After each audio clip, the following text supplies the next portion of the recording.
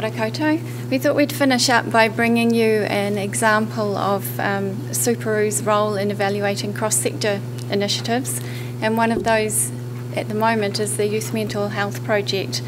Um, this is a package of 26 initiatives that was launched in 2012 and it really came from the, in, came out of the context of Sir Peter Gluckman's report on um, improving transitions in adolescence and reducing social and psychological problems during that time. Um, it Youth Mental Health Project focuses on, just checking the slide, sorry, yes, focuses on 12 to 19 year olds, as I said, and the, the aims are to prevent the development of mental health issues, improve access to services, and to reach young people in different settings, so in their homes, families, communities, schools, and in the online environment.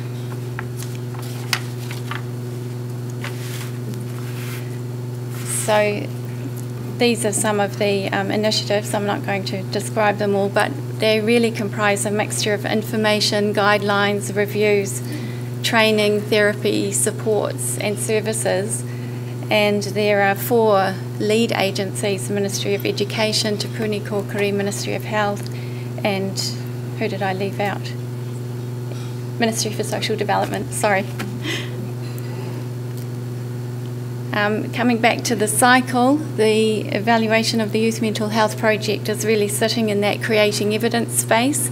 So the projects are underway with the 26 initiatives, and this is an evaluation of, of the outcomes at that higher overall level.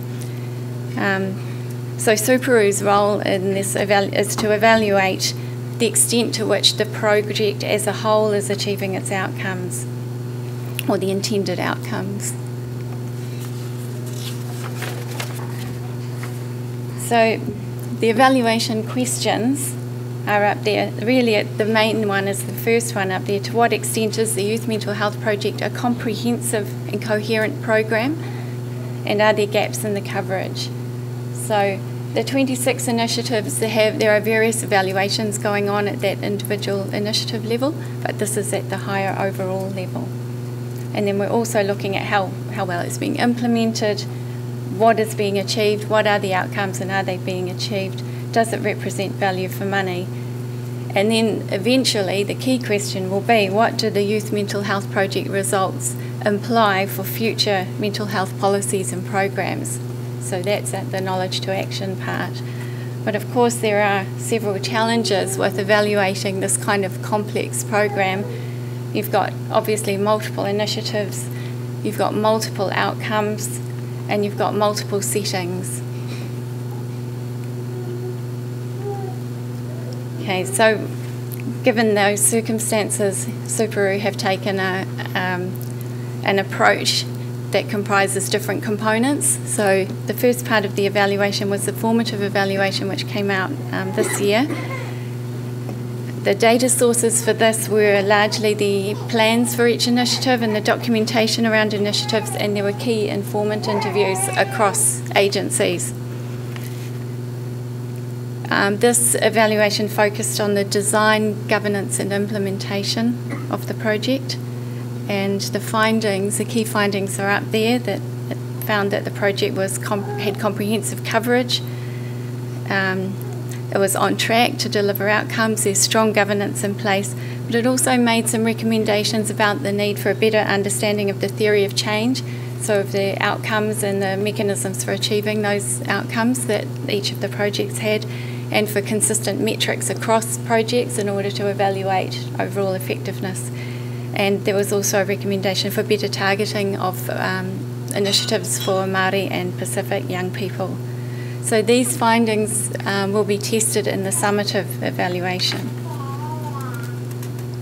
Uh, alongside that, a research summary was completed in 2015, um, and that the key findings for this came in those four areas. So the principles, um, for example, a focus on risk and protective factors, um, the fact that a cross-sector approach was needed, which is fortunate because that's what the Youth Mental Health Project was, was a cross-sector approach.